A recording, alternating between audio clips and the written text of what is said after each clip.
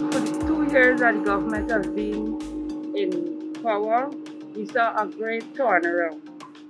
They bring they do with the cash grant, then with the grant, cash grant for the um, business sector, the small business sector, then the crash grant for the um, school children. Most of all, I like how they interact with you. The government listen. Celebrating the PPP/C's second year in office, the journey to prosperity for all.